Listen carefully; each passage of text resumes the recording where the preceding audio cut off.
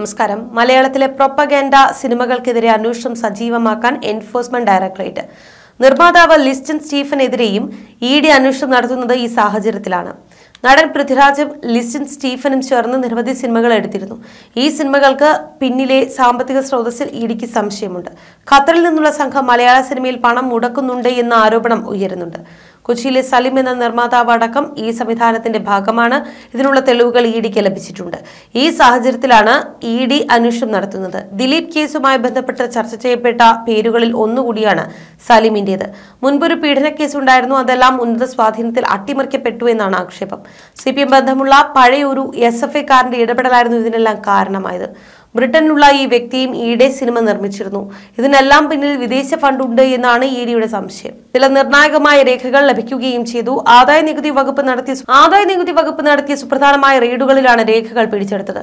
ഇതോടുകൂടി അന്വേഷണം മീഡിയയുടെ കയ്യിലും എത്തി. ഖത്തറിൽ നിന്ന് മലയാളത്തിലേക്കുള്ള ഫണ്ട് ഒഴുക്ക് നിയന്ത്രിക്കാനാണ് തീരുമാനം. ലിസ്റ്റൻ സ്റ്റീഫൻ പ്രൊപ്പഗൻഡ സിനിമയുടെ ഭാഗമായിരുന്നുവെന്ന് ഇ ഡി സംശയിക്കുന്നു. പൃഥ്വിരാജിന്റെ ജനഗണമന അതിന്റെ ഭാഗമാണ് എന്നും കരുതുന്നു. ഇതിന് പിന്നാലെ വാര്യംകുന്നനും പ്രഖ്യാപിച്ചു. പക്ഷേ പൃഥ്വി ആ പദ്ധതിയിൽ നിന്ന് പിന്മാറി. ഇതെല്ലാം കണക്കിലെടുത്താണ് ലിസ്റ്റിനെ ഇ ഡി ചോദ്യം ചെയ്തത് പലവട്ടം ചോദ്യം ചെയ്തു. തിങ്കളാഴ്ച വീണ്ടും ഹാജരാകാൻ നോട്ടീസ് നൽകി. പാല സ്വദേശിയായ ലിസ്റ്റൻ മലയാള സിനിമയിലെ പ്രധാന മുഖമാണ്. ആർക്കും പരാതിയും പരിഭവവും ഇല്ലാത്ത നല്ല നിർമ്മാതാവ്. മലയാള സിനിമയിലെ ഭാഗ്യമുള്ള നിർമ്മാതാവാണ് എന്നും വാദമുണ്ട്. പൃഥ്വിരാജുമായി ചേർന്ന് ലിസ്റ്റൻ എടുത്ത നാല് സിനിമകൾക്ക് അൻപത് കോടിയിലധികം ലാഭം കിട്ടിയെന്ന് വിലയിരുത്തലുണ്ട്. ഇതുമായി ബന്ധപ്പെട്ട പരിശോധനകൾ ആദായ നികുതി വകുപ്പ് നടത്തി. ഇത് കേസും പൃഥ്വിരാജിന്റെ പിഴയടക്കലുമായി. ഭാവിയിൽ പ്രശ്നങ്ങൾക്ക് സാധ്യത ഉള്ളതുകൊണ്ട് തന്നെ പൃഥ്വി പിഴയടച്ചു എന്നാണ് സൂചന. ദേശസുരക്ഷയെ പ്രതികൂലമായി ബാധിക്കുന്ന ഏതെങ്കിലും ആശയങ്ങളുടെ പ്രചാരണത്തിനുള്ള പ്രൊപ്പഗാൻഡ സിനിമകളുടെ നിർമ്മാണത്തിന് വേണ്ടിയിട്ടാണോ വിദേശത്തുള്ള സാമ്പത്തിക സ്രോതസ്സുകളിൽ നിന്നുള്ള കള്ളപ്പണം കേരളത്തിലേക്ക് എത്തുന്നത് എന്നാണ് അന്വേഷണ ഏജൻസികൾ പരിശോധിച്ചത്. സമീപകാലത്ത് മലയാളത്തിൽ കൂടുതൽ മുതൽ മുടക്കിയ നിർമ്മാതാവിനെയാണ് ആദായ നികുതി വകുപ്പ് രണ്ട് ദിവസമായി ചോദ്യം ചെയ്തു വന്നത്. ഈ നിർമ്മാതാവിനെ ബിനാമിയാക്കി മലയാള സിനിമയിൽ കള്ളപ്പണം നിക്ഷേപിക്കുന്നതായുള്ള ആരോപണം സംബന്ധിച്ച കാര്യങ്ങളിൽ വ്യക്തത വരുത്താനും ചോദ്യം ചെയ്യുന്നുണ്ട്.